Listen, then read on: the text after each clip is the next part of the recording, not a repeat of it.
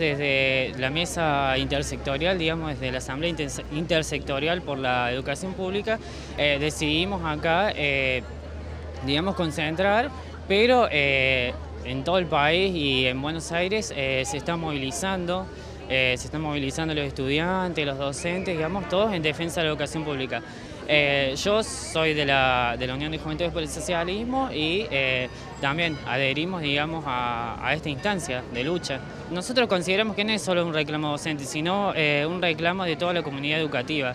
el problema principal que, está, que está, digamos, ahora sobre, sobre la mesa es el faltante del presupuesto universitario. Eh, no es solamente un reclamo salarial, sino el faltante del presupuesto que ha sido aprobado ya desde el año pasado en el Congreso de la Nación y eh, nosotros consideramos que eh, el presupuesto debe enviarse, debe enviarse porque nos corresponde a nosotros como estudiantes y a toda la comunidad en general para que pueda funcionar correctamente.